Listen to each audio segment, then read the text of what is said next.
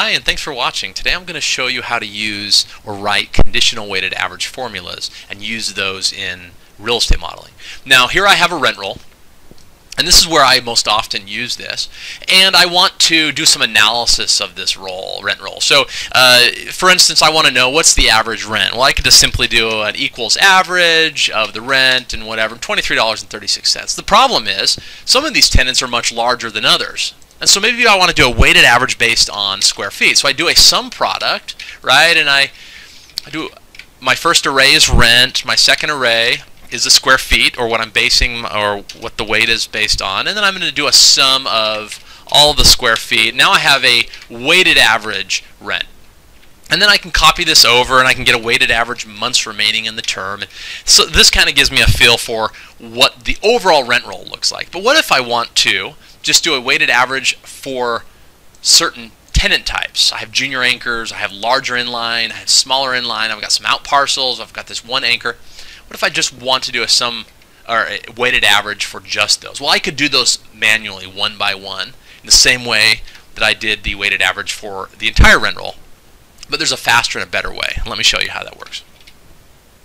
So we're going to use again a sum product Okay, but instead of in our sum product uh, choosing first uh, our rent and then the square feet, which is what our weight is based on, uh, we're going to make this conditional. All right, so we're going to set what I what condition or or better put uh, what category of tenant do we want to do this calculation on? And to do that, you do open a you do sum product, open parentheses, two dashes open parentheses a second time. Now, as soon as you open parentheses a second time, Excel automatically converts those two dashes into a single long dash. So to, to, to take that away, because we need two single dashes, there are two minus signs. We're going to do Control Z, and it'll automatically undo what Excel had done. So we want two minus signs, and then we want an open parentheses.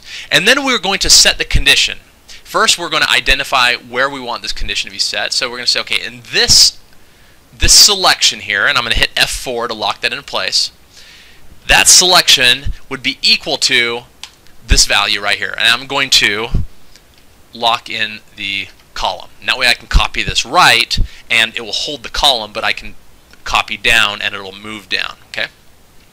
And then I close parentheses, and now I've set the condition. So what I'm saying is this sum product only relates to uh, these rows where the uh, where where the tenant is the type that I want. So now I do a comma, and now it's just a standard uh, sum product. I choose the rent, okay, and now I'm going to lock in here the rows. That way I can copy down and it will hold my up and down, but I can copy right and it will move over. And then I'm going to my my my next array is this, I'm sorry, the square feet right there, and I'm going to hit an F4 there. Close parentheses. And now I have my sum product. To complete the weighted average, I'm just going to divide this by a sum if, all right, because we only want to divide it by the square feet of the item that we're choosing or that we're selecting. And the range again is uh, okay, is this. I'm going to hit F4 to lock that into place criteria is this, right? And I'm going to lock in my column. And then the sum range is the square feet. I'm going to lock it all in, okay? Make it all absolute, close it,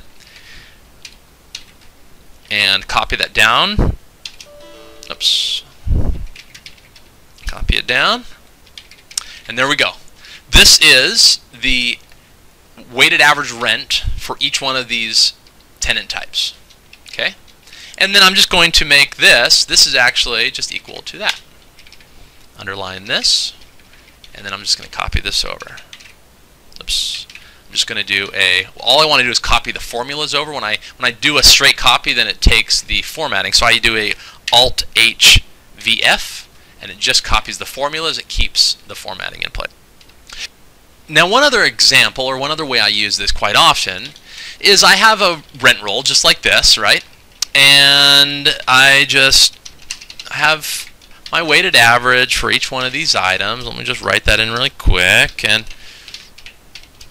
Great. And so I'm just looking at the weighted average of the entire rent roll, and I'm going to copy this over, just formulas. And I have the weighted average of rent and uh, months remaining on term and of sales per square foot. The challenge here is I don't have sales information for each one of my tenants. And so I have zeros in here, and these are in real in the real world these aren't zeros. And so I have it zero, and what it's doing is it's skewing lower the overall average sales per square foot for this entire rent roll. And so what I want to do is I only want to take the average of those values that are greater than zero. And so I use this conditional weighted average uh, formula concept. I do sum product, open, open parentheses, two minus signs, in parentheses again. I undo the, the change from the two uh, dashes to one, just like so. And then what is the condition? Well, the condition is I want to look at all of these and only those values that are greater than zero, right? And then I'll take the that array, that array, I close it, and then I'm going to divide it by sum if again. And I'm only going to look at those values that are greater than zero. Now, uh, in your sum if, when you do a criteria, you need to set it within uh, quotation marks. So you'll notice it's greater than zeros inside quotation marks. And then finally the sum range, and it's the square feet. Close it, and there it's 470.88. Now you'll notice before 365, and that's because it was averaging in these zeros.